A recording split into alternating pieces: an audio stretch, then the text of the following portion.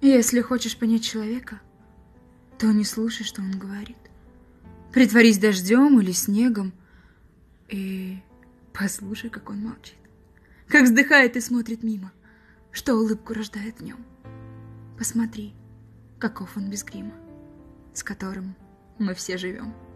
Наблюдай, как он входит к детям, к людям страждущим, старикам и хотя бы на миг на свете. Попытайся и станем сам. Не старайся быть хуже, лучше, без оценки смотри сейчас. Прямо в сердце его, прямо в душу, прямо в бездну далеких глаз. Если хочешь понять другого, вглубь иди тогда, не вовне. И не всегда стоит верить слову. Часто истина в тишине.